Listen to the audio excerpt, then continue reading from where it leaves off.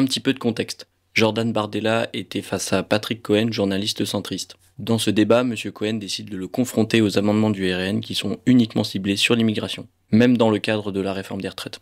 Donc c'est ça la clé, exclure les étrangers du système de retraite pour pouvoir financer celle des autres. Vous n'avez pas l'impression d'être légèrement caricatural? Tu vois ce qui est marqué sur mon haut? C'est le smile. Il faut sourire. Tenez.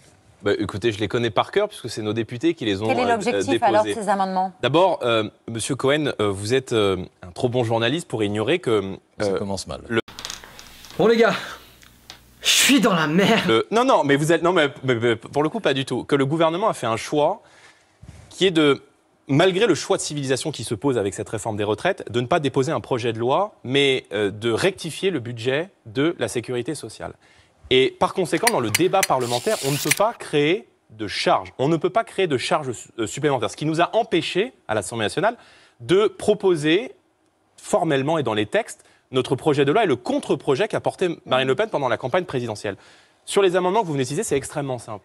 Les aides sociales qui sont versées aux étrangers chaque année dans notre pays, c'est 12, mi- au bas mot, hein, 12 milliards d'euros Oui, par an. ils ont cotisé. On cherche Ils ont précisément cotisé pour 10 ça.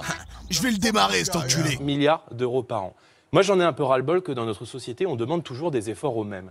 Et je pense que euh, notre système de solidarité, Les soustraire les nationale. prestations. euh, Exactement. Des pensions de retraite. Mes yeux sont extrêmement choqués, mon âme est extrêmement choquée. J'espère que tu vas vraiment te remettre en question. Qui ont exactement. pourtant cotisé pour cela. Exactement. Qui ont pourtant je pense, travaillé oh, je ou pense, oh, et vous savez, beaucoup de, vous savez, les Français qui nous regardent ont bien compris que l'immigration coûtait plus aux finances de l'État qu'elle ne rapportait. Signé deux contrats chez Sony, donc j'ai acheté une arme avec un Et silencieux. vous avez parfaitement de raison de rappeler que nous faisons des choix, que gouverner, c'est choisir.